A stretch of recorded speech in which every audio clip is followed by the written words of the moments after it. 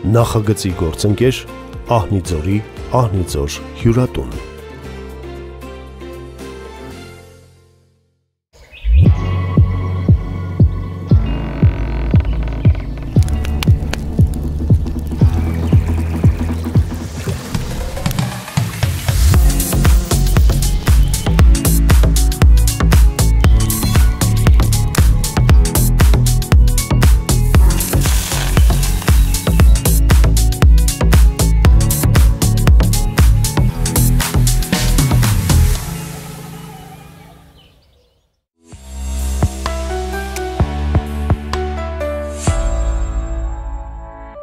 Ինչպես լումաներից կազմված է դրամը, այնպես էլ կարդալուց քիչ-քիչ ձևավորվում է գիտելիք։ Մեր օղին գիրն ու գրականությունն է։ Մեր հյուրն է բանաստեղծ Հայկաս Քոթանջյանը։ Բարև ձեզ, պարոն Քոթանջյան։ Բարև ձեզ։ Ինչպես որոշեցիք առաջին անգամ վերցնել թուղթն ու գրիչը եւ ձեր հոգում կուտակված այսպես պորտկումը թողեցիք թղթի վրա։ Հետաքրքիր հարց է, Ռոբերտ ջան բայց դա որոշում չէր։ Դա ինքնըստինքյան առաջացած մի ցանկություն էր, որին ենթարկվելով ես ձեր ասած վերցրեցի թուղթը եւ գրիչը, սկսեցի գրի առնել իմ մտքերը, որոնք ձևավորվեցին չափածո բանաստեղծության ոճով։ Այդ ցանկացած բանաստեղծություն իմ պատկերացումներով դասականն է, որը համահունչ է տակտին, տողաչափական հանգավորումներին եւ ընդունված պահանջներին։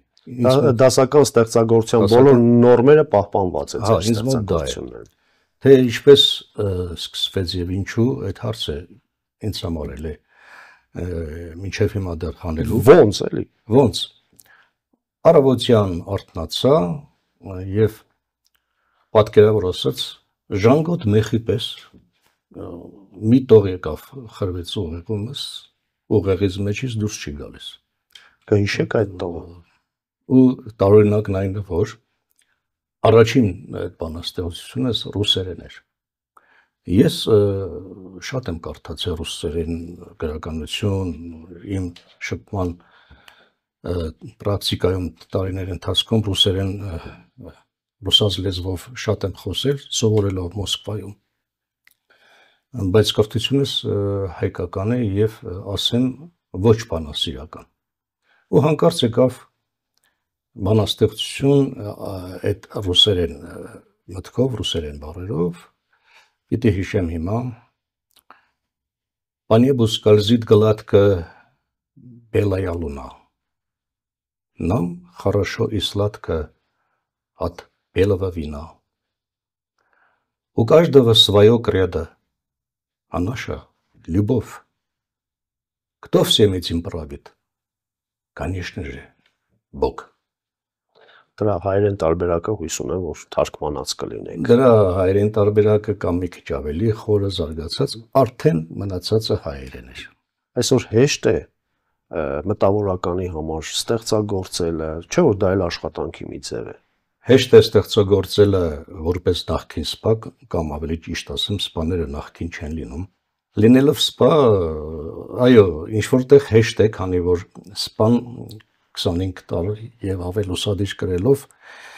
անցել է կյանքի այնպիսի մի ուղի որի հիմնակարը կամ անկյունակարերը եղել են պատասխանատվությունը, պարտքի զգացողությունը, գործին լուրջ վերաբերվելը։ Այդ ամենով հանդերձ ես եկել եմ մի կետի, իմ անցած ուղուց հետո կանգնել եմ այս կետին, որը կոչվում է ստեղծագործական ուղի կամ ճանապարհի սկզբնակետ։ Դրանք ունենալով այդ pašարը, այդ բեռը, քեզ բերում են ավելի լուրջ վերաբերվելու պարտադրանք եւ դու սկսում ես ստեղծագործել կամ արդեն սկսել ես հեն հենվելով, հիմնավորվելով այդ հիմնակարերի վրա, անկյունակարերի վրա։ Այդ առումով եւ քո խոսքը եւ ասելիքը հիմնավորված է, մտածված է, ուղղավ, ուղղորդված է։ Այս այսինքն կարճ ասեմ, հենց այնպես ոչինչ չեմ ասում։ Ինչ որ ասում եմ, մտածում եմ, զգում եմ, նոր ներկայացնում եմ։ Ապրել եք նույնիսկ այդ ամենը։ ապրումները պարտադիր են։ Ապրել եմ, բայց կա նաև ստեղծագործական ներբություն, մի քիչ ֆանտազիա, գեղարվեստական ոչ, եւ ասելիքը ավելի գունագեղ եւ պատկերավոր է դառնում։ Ինչ որ մի բան ստեղծել ընդհանրապես գալիս է մեծ ցանկությունից ան դիմադրելի պարտադրանքից ներքուստ որ դու գնում ես դրան եւ զգում ես որ այլ տարբերակ չկա դա պետք է ավարտին հասցնես դա ստեղծելու ստեղծագործելու ամենակարևոր առանցքն է որի շուրջ պատտվում է եւ ստեղծվում է ստեղծվելիքը հոսքը եթե բանաստեղծության մասին է բանաստեղծության տեսա տեսլականը ինքնստինքյան է գալիս բանաստեղծության տեսակի ինքն է ձևավորվում Իսկ այ հետո այդ բանաստեղծությունը դառնա հանրային գրքի տարբերակով, դա արդեն ծախսերի հետ կապված է մի քիչ խնդիր է առաջացնում, որ ընթերցողին հասցնես քո մտքերը գրքի տարբերակով։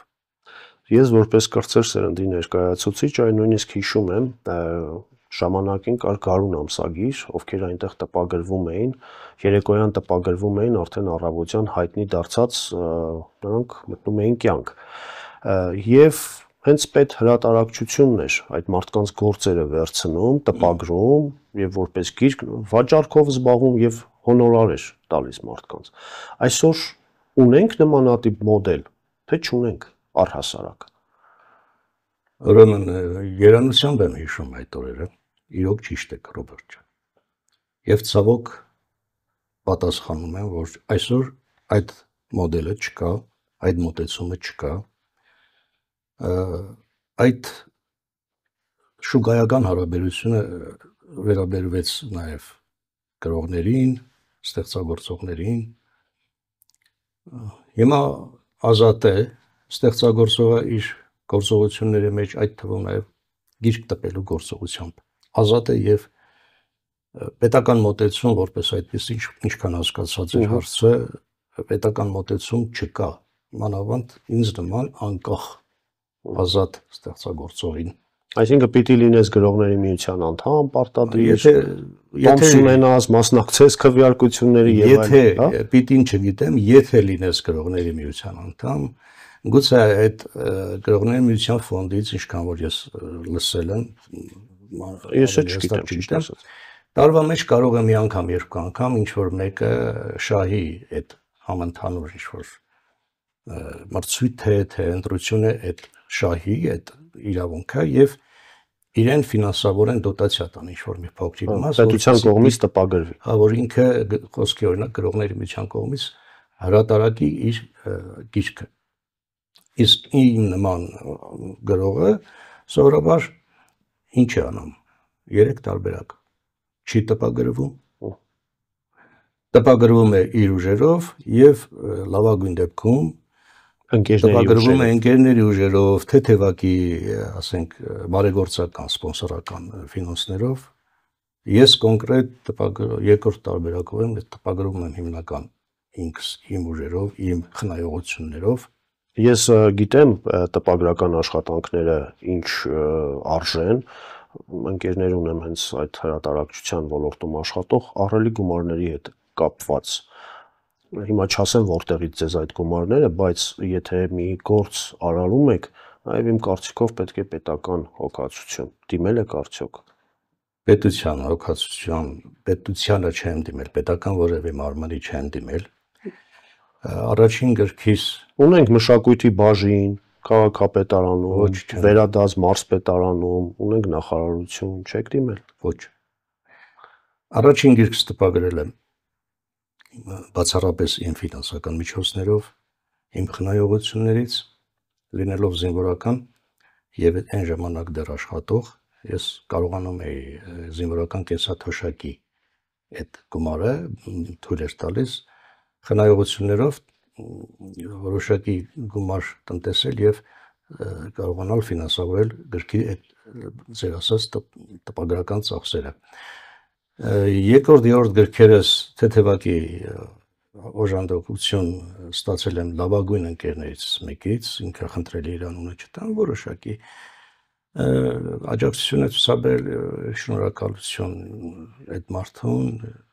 եւ չորրորդ գիրքս էլ որ լույս տեսավ վերջերս էլի իմ գավանքերներից մեկի որոշակի ֆինանսական աջակցության դա այնքան որքան որ ոնց որ ողջևորիչ գումար է ոչ ամբողջ ծախսը ամեն դեպքում շնորհակալ եմ եւ գրքից վերջում այդ մարդու անազգանուն անպայման նշված է այդ մարդը լսեց, կլսի անպայման ձեր շնորհակալությունները,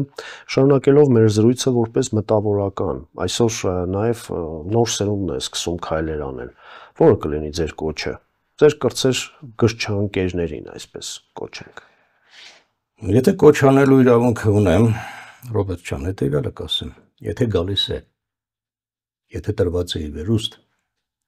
եւ դրան դիմադրել, դիմակայել հնարավոր չէ, ես նույնիսկ կասեմ, չի էլ կարելի, ապա դու գրիր, դու ստեղծագործիր։ Դու արա քո գործը։ Ժամանակը ցույց կտա, լավ ես գրում, բան ես ասում, հասկացվում է, ընդունվում է թե ոչ։ Դա գիտեք, ընտրություն չէ, մտնել խանութ վաճառատուն եւ վերցնել, ասենք, հագուստ, կոշիկ հակովս է առնեն, դուրս է գալիս մոդայիկ Դա լրիվ ուրիշ process է։ Այս ստեղծագործական այդ ոգևոր շնչումը ընդունված է ասել մուսան երևի թևավոր խոսքեր թող չանչեն գալիս է վերևից եւ եթե երիտասարդ ես եւ ստեղծագործելու այդ մեծ ավիոնը կա մեջ դու ստեղծագործիր Իհարկե կարդա, իհարկե ուսումնասիրի դասականներին, նայր նաև ժամանակակիցներին եւ գրիր ասելիքդ անձնիր նախ ինքդ քեզ, երբ որ քեզ դուր կգա, քո ճաշակին համարժեք համապատասխանում է, նոր դուր ընթերցողին։ Որպես նաև խորուրդ մի քիչ խնայեր ընթերցողին, որովհետև այսօր աղբյուրը այնքան վարար է այսօր տարբեր կողմերից վարար հոսք է գալիս գուց չգիտեմ սա ինչ ոնց մեկնաբանեմ ինչպես է առաջացել բայց այդ դաշտի ազատ լինելը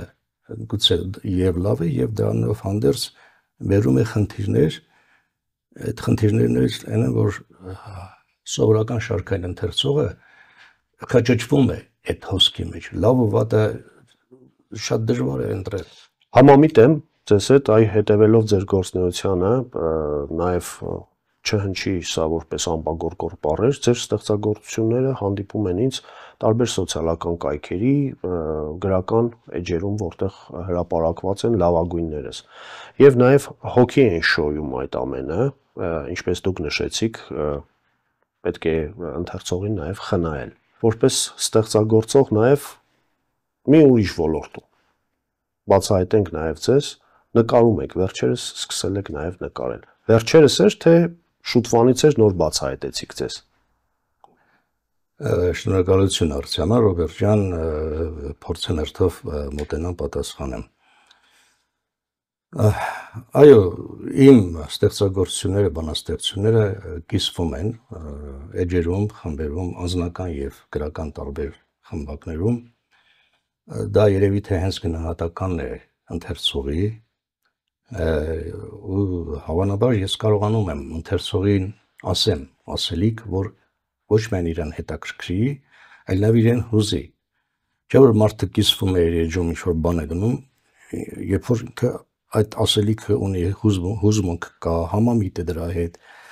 ուզում է իր մտերիմներն էլ, իր հետևորդներն էլ տեսնեն։ Այդ առումով ես շնորհակալ եմ առաջից, որ ինձ տվել է այդպիսի կարողություն ստեղծագործելու եւ մարդկանց հոգին ինչ որ բան ասելով, հոգին մտնելով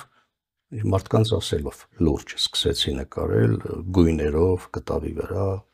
վրցինով 2023 թվականի նոյեմբեր ամսից։ Մի տարի էլ չկա։ Բայց նախասիրություն կար, միշտ հիացել եմ, միշտ անկեղծ գնացել եմ ցուցահանդեսների եւ մտել եմ կտավի գույնի գծի արանքը տեղավորվել եմ նկարչի ասացի ցույց տվածի տեղադրածի հոգու մեջ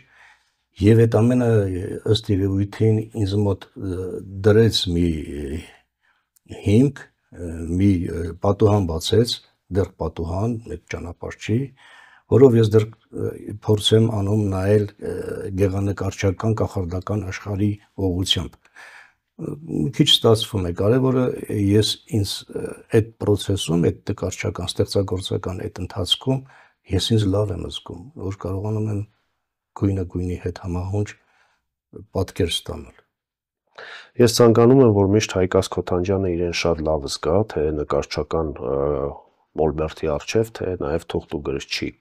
Եվս մեկ անգամ շնորհակալություն, որ մեր հրավերը չմերժեցիք։ Չգիտեմ ինչքանով մեզ հաջողվեց բացահայտել Հայկաս Քոթանջյանին, բայց մենք մեզ համար բացահայտեցինք։ Մեր լորեցի ստեղծագործողին։ Շնորհակալ եմ։ Ես ձեր հրավերը ընդունելով իմ շնորհակալությունն եմ ուզում հայտնել փոխանցելով ստուդիային իմ վերջին 3 գրքերը։ Շնորհակալություն անպայման մենք սա կընթերցենք։ Սա մեր ուղին հաղորդաշարն էր, մեր ուղին միտքն ու նրա թռիչքն էր։ Կհանդիպենք եթերում առայժմ։ Նախագծի գործընկեր Ահնիձորի Ահնիձոր հյուրատուն